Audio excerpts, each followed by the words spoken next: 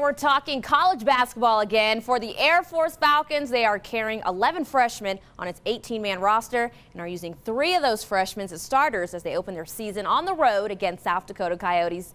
Let's head to Sioux Falls for all of the action today. Falcons came out pretty hot. A.J. Walker gets the rock here and hits the three. The senior would lead his team with 14 nice points on the day.